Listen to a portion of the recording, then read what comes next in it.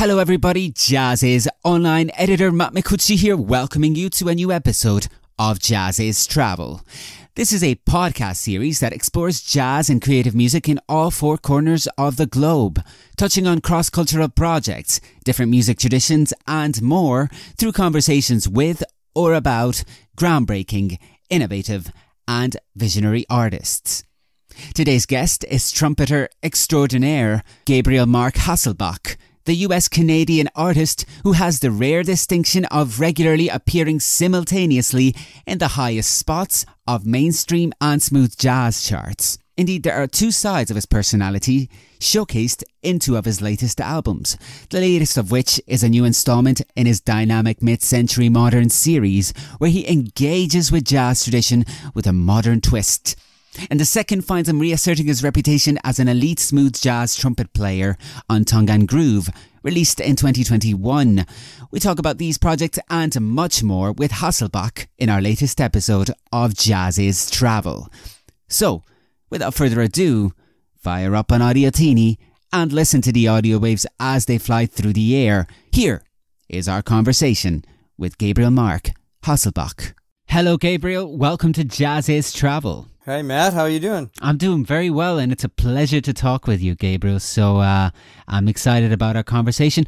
Gabriel, what part of the world are you speaking to us from right now? I'm in Vancouver, BC, Canada, the west coast, just uh-huh. above Seattle. Originally, you were born in Denver. That's where Denver, born, Colorado. Right? That's right.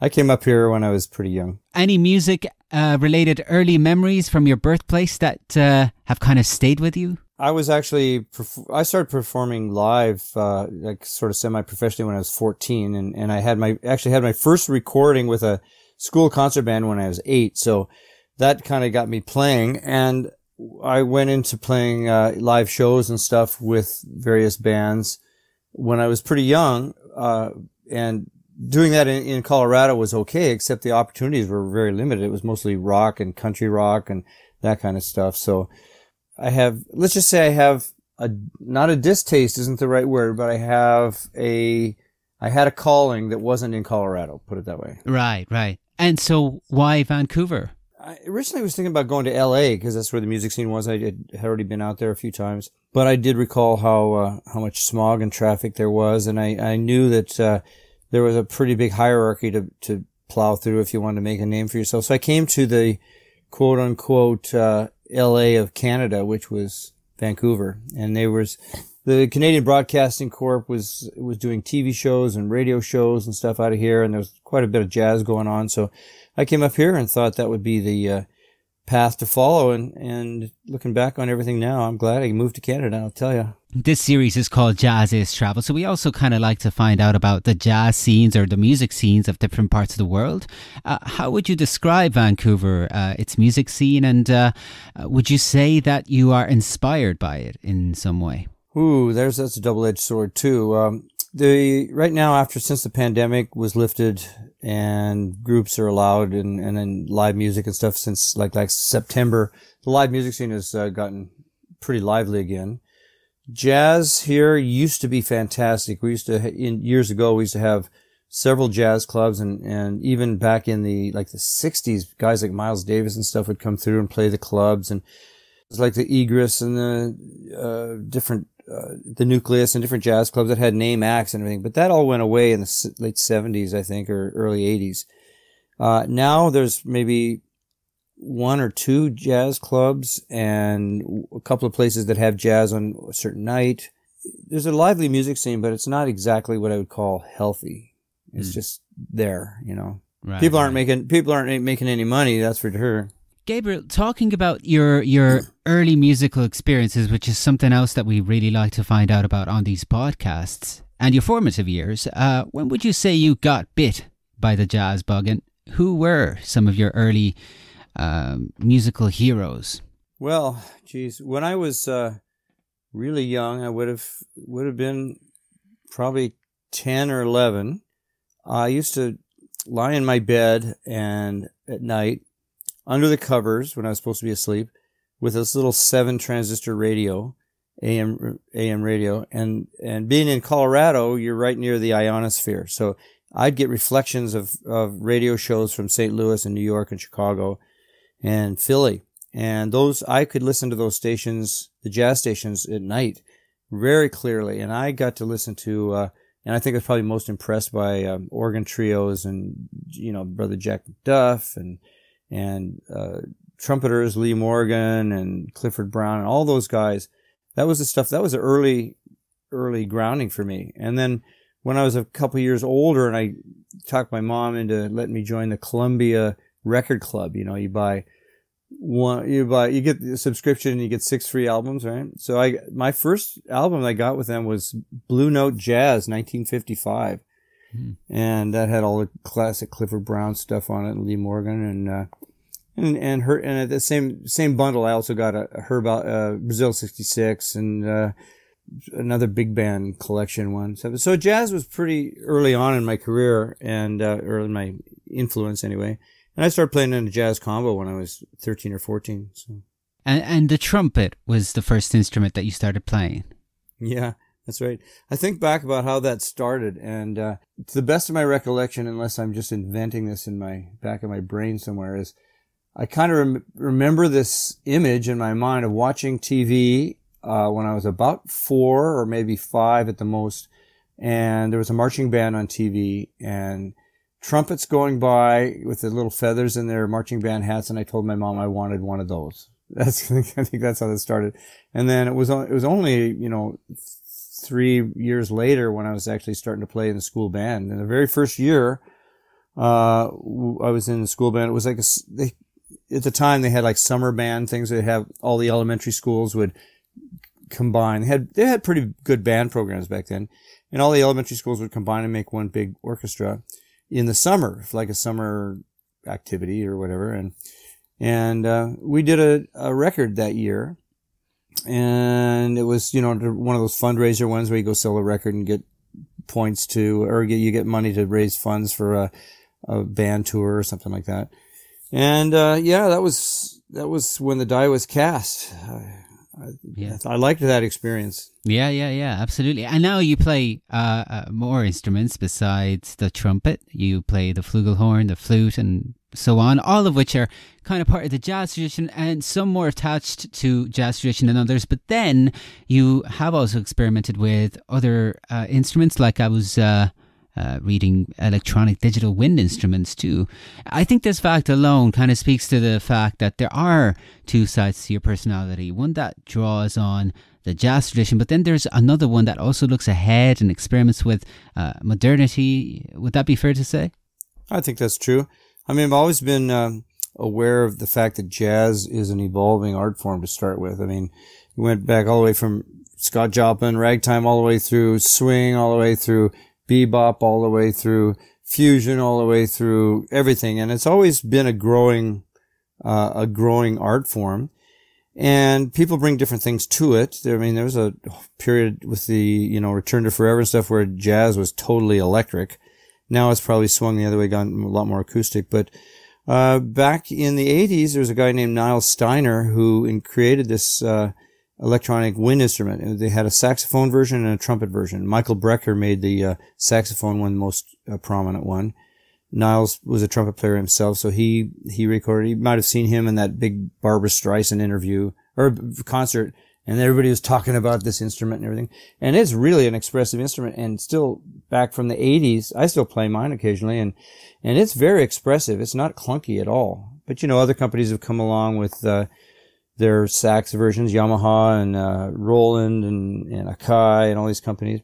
So the the digital wave never has left us. Put it that yeah. way. So, and, and also another fa- another sign of the fact that uh, uh, speaking of your uh, the different sides to your musical and creative personality, uh, another sign uh, that you express them so successfully is that we should mention you are currently charting on both mainstream and smooth uh, charts.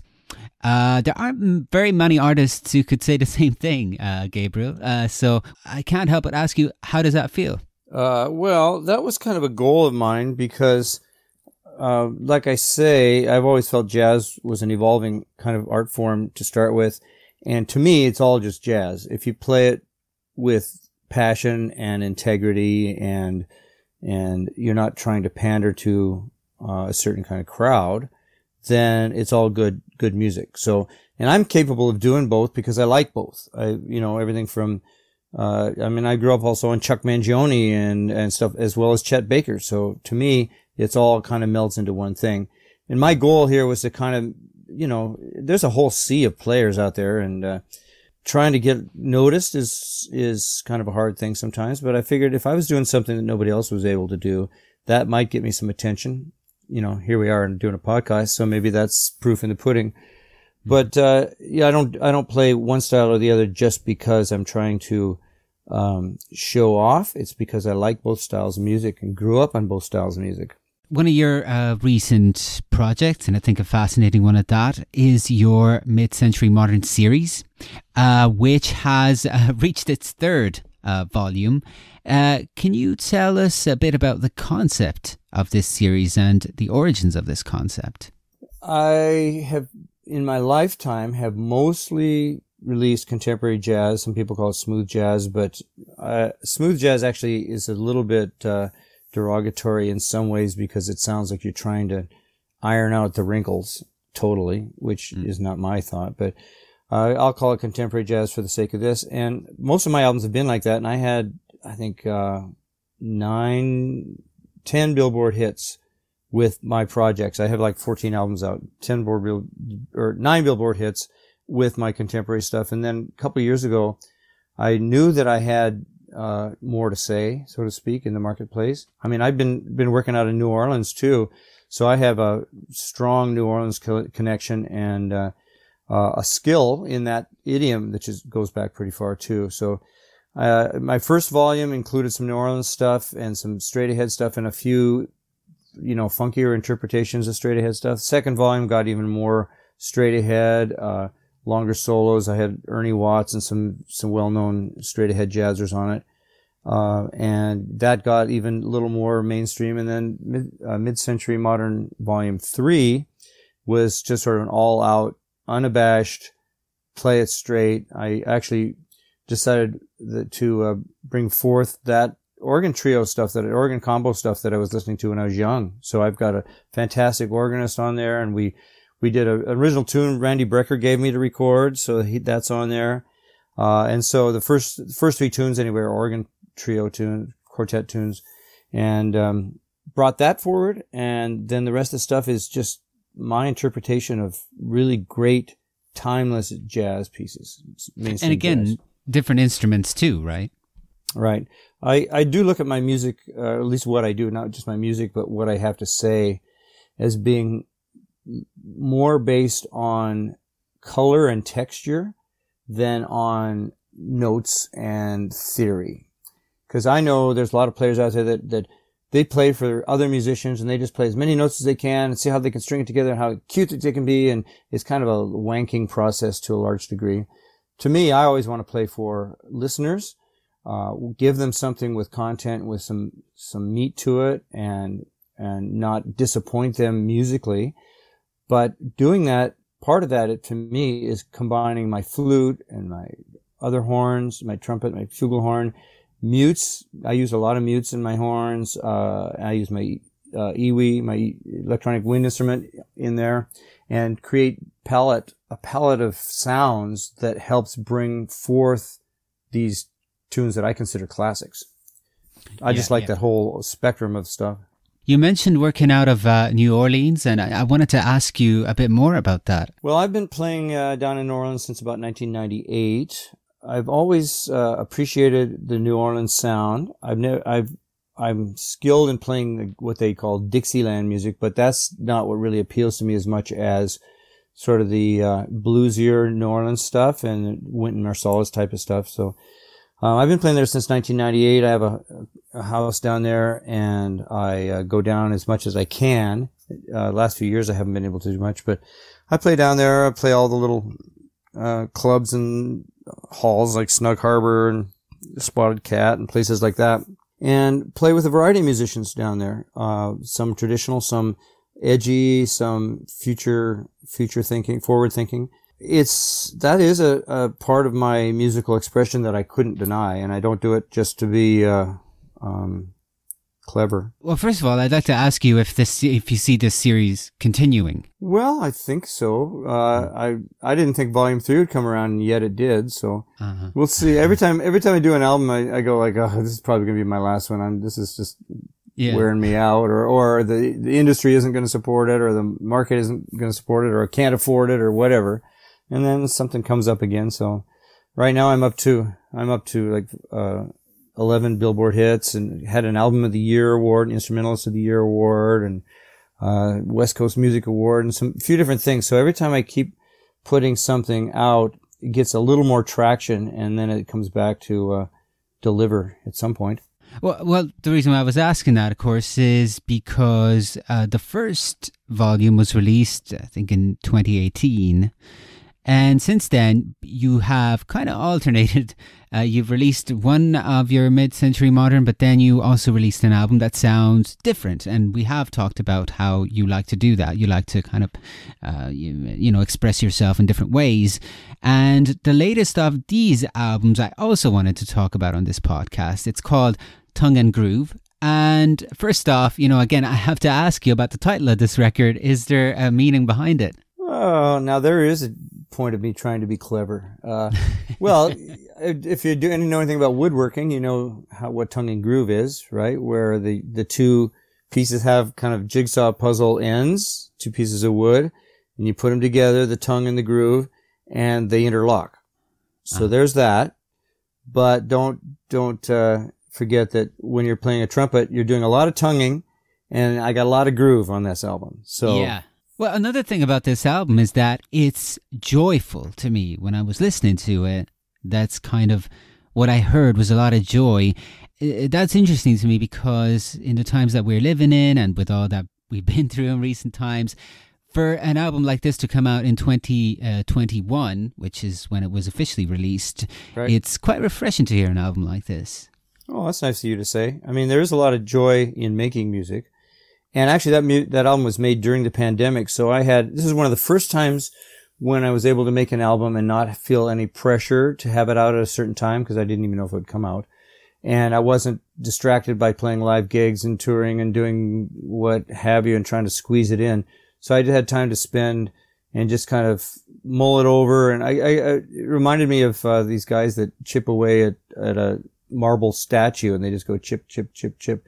So I created something that felt good. I mean, during the pandemic, it was, it was a rough time for a lot of people and I didn't have to suffer too much and I had a nice little enclave here in my own studio. So I just got to dig in, you know, and that gave me joy right there because I was sort of, uh, bypassing all the trauma that was going on. On this record, we also hear some great musicians, uh, you know, Chris Standring and uh, uh, Bob Baldwin. Uh, can you tell me a bit about uh, how you worked with them on this record? Considering as well that you you said that you kind of worked on this album during the pandemic, uh, were there any challenges to overcome there? Uh, slow internet speed, maybe. All right. About, you know, it was all done pretty much virtually. I did a few things Oh. live, but, uh, mostly done. I, you know, I'd send them tracks. I wrote a lot of songs with Bob Baldwin in the past and, uh, we did that all virtually. And, uh, actually the first single off of there that got, it was my 11th Billboard hit, Chill at Will. That was co-wrote, uh, over the internet. And then that sat actually for quite a while. And then I came back and kind of polished it up and Bob added some stuff and it was, voila, it was done. Uh, so you uh, did engage in kind of recording uh, remotely, uh, which was Oh, something yeah. that a lot Oh, of yeah. people discovered during those times. How do you find that process? I, I quite like it. Um, there's a lot of pressure when you go into a studio and um, you have to deliver the, the perfect solo or something right then and there in front of everybody. Time is money. You got musicians standing there and you got all that stuff. But if you if you got your own your own space, you can record something and go, mm, I can do better. You listen to it a few times. You go, maybe I'll just punch in that, fix that one note or whatever. Cause I don't like putting stuff out there that's got loose threads, if you know what I mean. So it gives you the chance to be a little more perfect with what you do. Well, uh, Gabriel, uh, I'd like to just ask you, maybe conclude the, this podcast interview by just asking you what's next for you. Uh, will you be uh, on the going on the road, and are you working on anything that you'd like to share with us? Uh, well, yes, I've I've had some offers to go do some shows in the states, but um, I've had to decline so far just because, um, there's still vaccination border. I'm, I'm not an anti-vaxxer because I, I'm vaccinated, but there's still these, these mask and vaccine issues at the border, on the Canadian border and coming into the U.S. And there's, uh, uh, I'm not exactly thrilled about getting stuck in an air, airport for four hours and then getting stuck on a plane for another four or five hours with bunch of yahoos. So, I mean, I'm not in any eager, you know, space to be doing that. And I have a, a nice little, uh, steady once a week gig here in Vancouver, which is a, not only a great performance ground, but also just loose enough to be a good, uh, training ground for bringing out a new material and trying out new stuff. So I'm, you know, I got two little dogs and a great wife and a nice place I'm living. So, you know, all of it is, I'm not that eager to get out back out on the road and hit the, uh, I did five years solid at one point, and it's like, okay, I've done this now. Well, where where is it that people can uh, see you in Vancouver? We may have some listeners from there. That's right. Um, there's a place here in Burnaby called the Admiral Pub and Grill really nice showroom. It's it's not really a pub, sort of, I guess, but uh, it's a it's a showroom. I've got a nice stage and a big room, great sound system, and I'm there every Sunday, five to eight. Make it kind of early because they've got a great menu. It's not pub food, so people come and have dinner and stuff. And then uh, night times they have uh, other on the weekends and stuff. They have just regular sort of dance bands and stuff. But I, I own the Sundays there, so that's pretty cool. And we have guests. Sometimes we bring special guests up. Uh huh. Right. I have a right, full right. I have a full band there with regular guys. All right, Gabriel. Well, it's been a pleasure chatting with you. Uh, thank you very much for joining us on JAZZIZ Travel. Well, thanks for having me. I hope you enjoyed our JAZZIZ Travel conversation with Gabriel Mark Hasselbach as music from Mid Century Modern Volume 3 plays us out. I encourage you to check out that album, the other albums in this dynamic series, and also Tongue and Groove. And I also encourage you to join me again next week for a new episode of JAZZIZ Travel. And in the meantime, don't forget to check out jazziz.com, our regularly updated website with lots of great content on jazz and beyond. And you get access to even more great exclusive content when you subscribe. Till the next time, this is Matt Micucci signing off. See you soon.